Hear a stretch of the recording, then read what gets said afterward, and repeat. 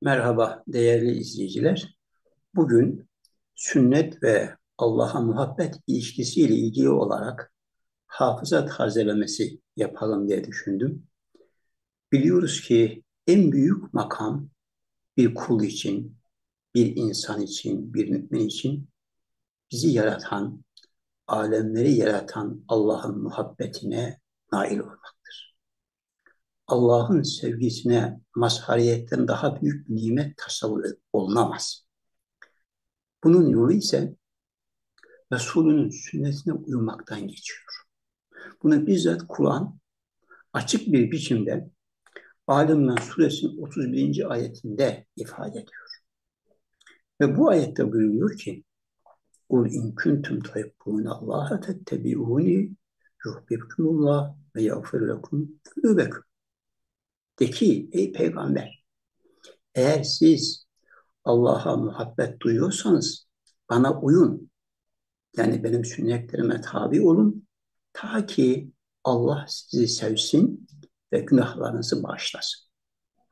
Bu ayetten açık bir biçimde anlıyoruz ki Allah'ın muhabbetine mazhar olmak, yani Allah'ın bizi sevmesini sağlamak ve günahlarımızın mağfiret ile sonuçlanmasını temin etmek Resulünün sünnetlerine uyumaktan geçiyor.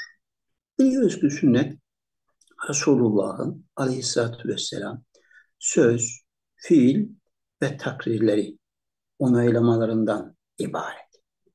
Fakat sünnet deyince çoğu defa insanların aklına adab diye kabul edilen yeme içmeye, giyinmeye dair sünnetler geliyor. Hayır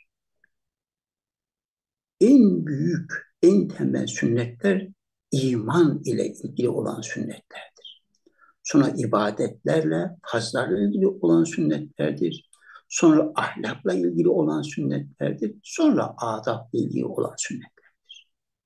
Daha açık ifade etmek gerekirse en büyük sünnet Kur'an'ın temel mesajlarına iman etmektir. Tevhidi tasdik etmektir. Nübüvveti tasdik etmektir ahirete ikan, kesin biçimde iman etmektir. Adalete iman etmektir. Adli ilahiye iman etmektir. Meleklere iman etmektir. Dolayısıyla en temel, en büyük, en lüzumlu sünnet buradan başlar. Kur'an'a tabi olmaktan başlar. İman esaslarını tasdik etmekten başlar. Çünkü Resulullah iman esasını hem tebliğ etti hem kendisi şerh etti, açıkladı ve beyan etti, temellendirdi.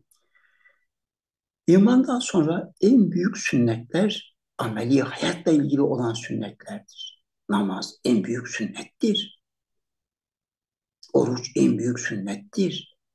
İnfak etmek, varlıklı olan insanların Allah'ın verdiği imkanları paylaşması en büyük sünnettir. Resulullah Aleyhisselatü Vesselam bunları hem bize tebliğ etti, hem hayatına yansıttı ve bize rehberlik yaptı.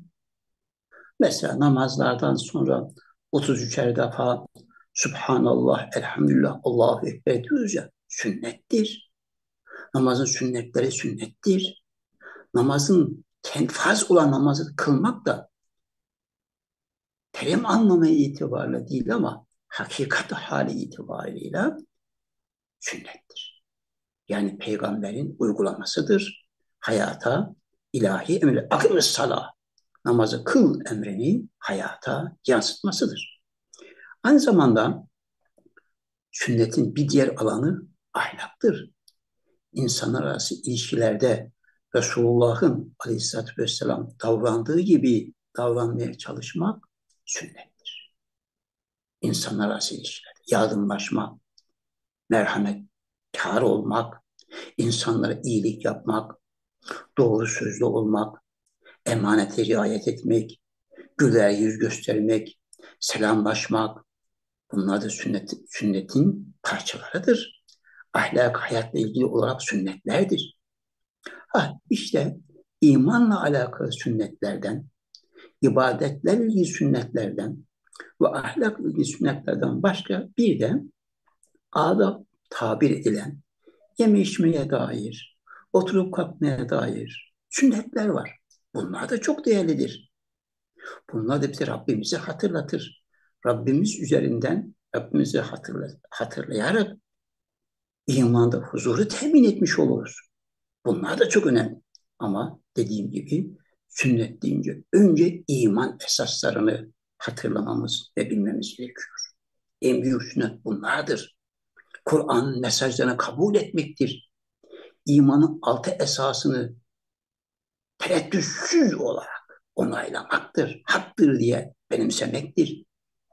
Bütün faz ibadetleri yapmaya çalışmaktır. Kebairden kaçınmaktır.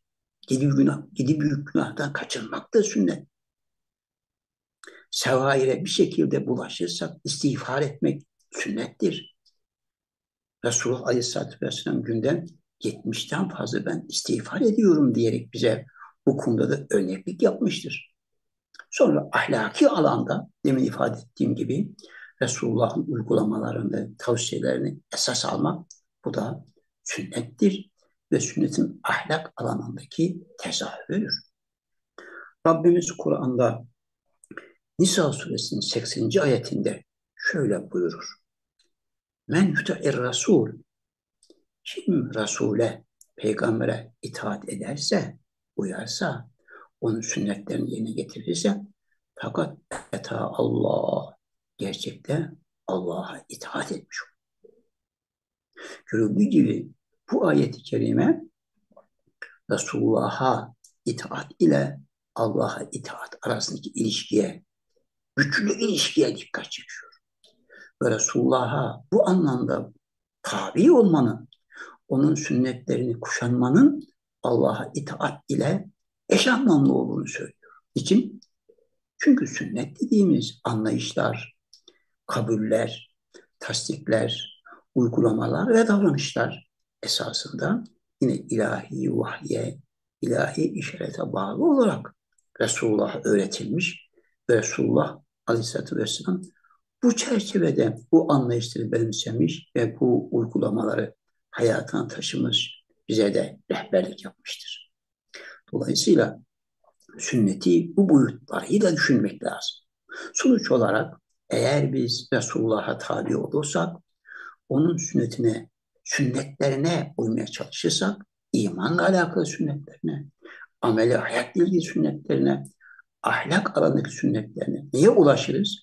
Ayeti tekrar hatırlayarak bitirelim. Allah'ın sevgisine ve ilahi mağfiret. Rabbimiz Resulullah'ın sünnetlerine tabi olmayı ve sonuçta kendi mahbubiyetine, sevgisine nail olmayı ve günahlardan da bu surette mağfirete ulaşmayı hepimize nasip eylesin.